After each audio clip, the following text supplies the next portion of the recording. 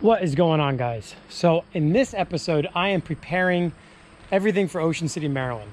At the moment, uh, everything is still fluid with going down there. Had some friends in Ocean City last weekend. They said everything was open and uh, people were around, so it's not like they're on complete lockdown.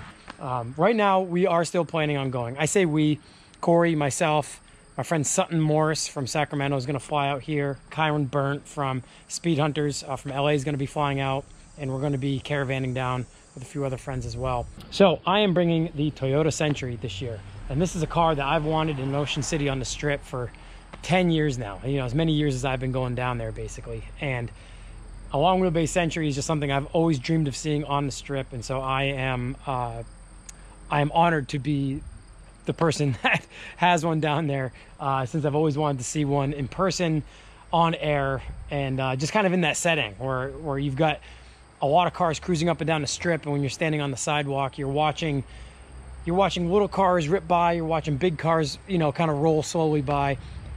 I use long wheelbase cars on the strip in ocean city uh, as an example to like uh, battle scenes in star wars where the tie fighters and the x-wing fighters and all the small fighter ships are are ripping around, shooting at each other and making hard banks and going really, really fast amidst all of the massive star destroyers just kind of slowly rumbling through. So when I'm standing on the sidewalk on the strip in Ocean City and you're seeing R32s and rabbits and 240s and all sorts of other like fast cars rip around, then you see this big long wheelbase car laid out, just kind of rumbling by real slow. And you get a real good look at it because it's going slow, it's not ripping too fast and uh, that always gets my blood flowing. I always like seeing like big, big old cars or just land yachts. So I'm excited to have the Century there this year.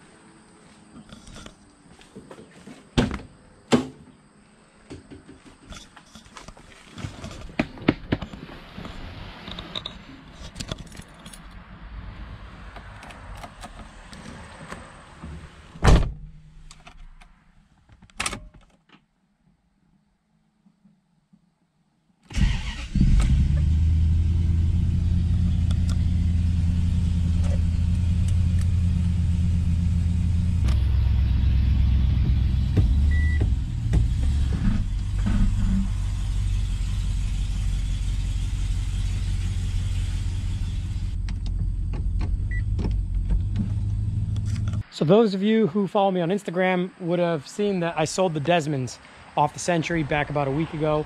Um, my friend Nick from Massachusetts came up to get those. They fit the car well. The Desmond Versas were designed basically around the Century OEM wheel. Uh, but 17 just looks super small on the long wheelbase Century.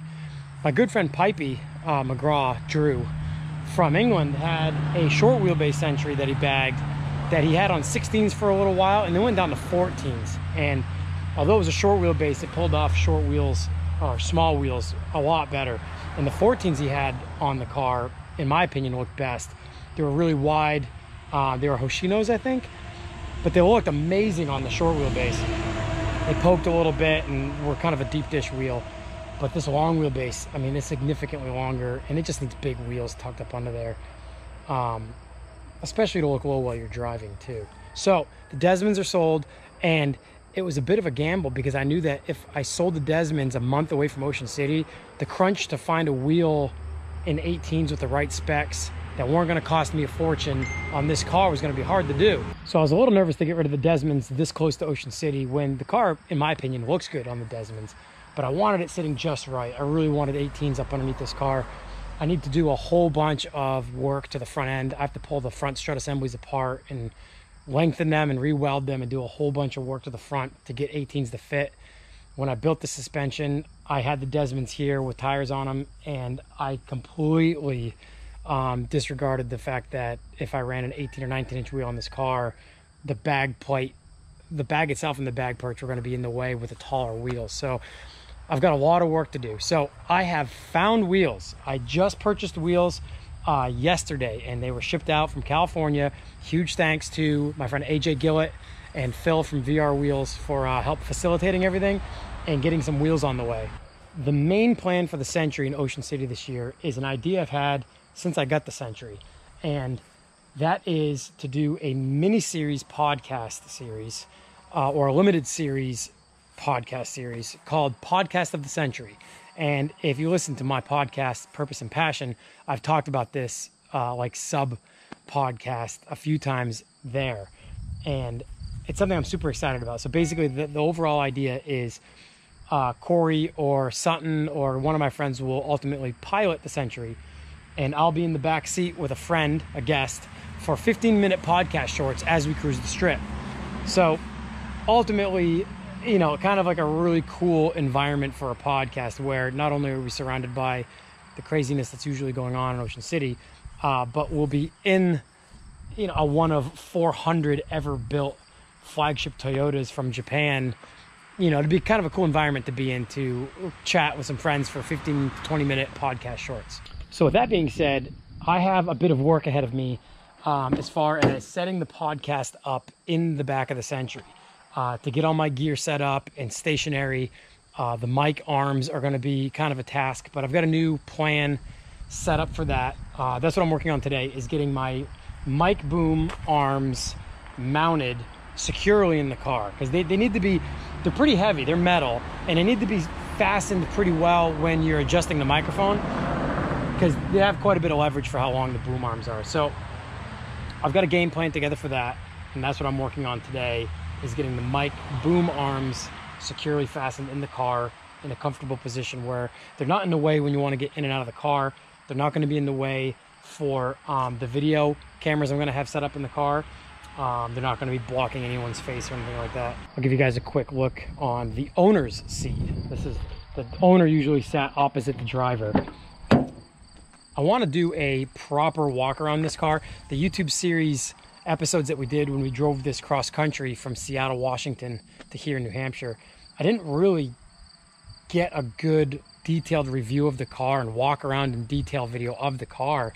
Um, probably because I didn't even think of that because we had such a task at hand to get the car prepped and ready and drive 3,500 miles basically zigzagging across America as we did TGC pop-up meets all the way home. So one of these episodes coming up, I am going to do a proper walk around of the car and show you all the crazy intricate details of this car and all the crazy technology that Toyota uh, put into this car in the early 90s. So, as we enter the back seat, we've got quite a setup in here. We've got a TV, VCR. This used to be a cassette player, but now it's a CD player. This was put in in Japan at some point. We've got the entertainment and HVAC uh, controls right here and readouts. And what's crazy are the controls are a pop-out remote. And everything's in Japanese, which in my opinion is so cool. But remote controlled HVAC and entertainment system. So rad. Someone put in an aftermarket TV in the headliner. This is a big fold down TV. Um, this is obviously done in Japan as well. The car hasn't been modified uh, until I got it here in America. So everything in this car was done in Japan. Up overhead here, we have the rear massaging seat controls, which still work, by the way. Pretty cool. And there's a built-in audio recorder as well, which is really cool. That's all electric. Put a cassette in there, and I haven't checked to see if all this stuff like actually works. I'm not sure if it does, but the fact that this had actual audio recorders back here is pretty rad. So I'd really like to integrate this into the podcast, or even if I just record an intro of the podcast on cassette and then transfer that to digital. So the car itself actually recorded the intro to the podcast.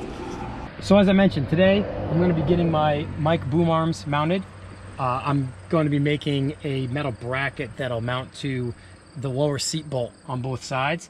And I'm going to go to the computer in the laser machine and uh, laser cut some template pieces that I'm going to bend uh, that'll come out and mount down here on the floor. My plan is for videos to have uh, GoPro mounted to the back window facing forward so you can kind of see what we see and a GoPro mounted up front top where the partition window goes facing back so you can obviously see us while we're talking.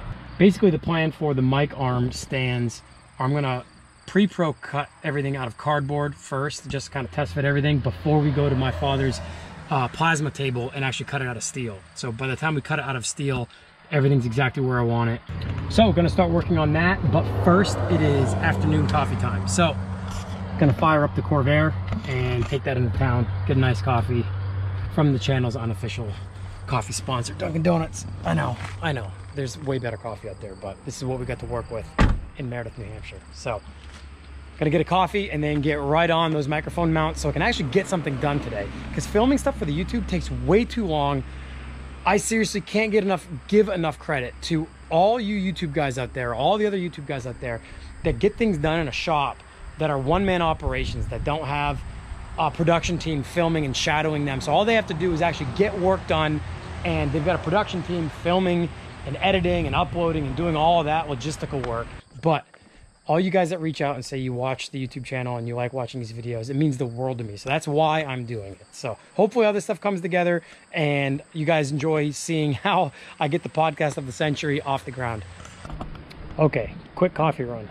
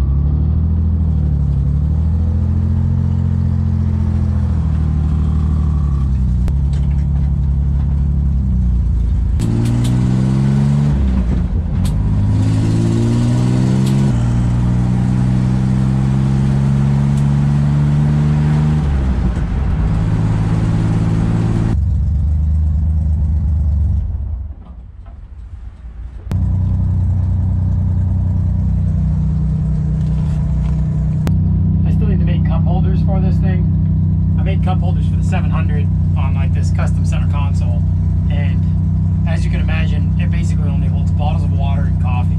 So I've had this car finished since 2014. Still have yet to put cup holders in it. But I'm always a uh, lone driver in this car. I usually don't have any passengers ever. So putting a iced coffee right in the nook of the passenger seat works out just fine. So let's go work on the Century.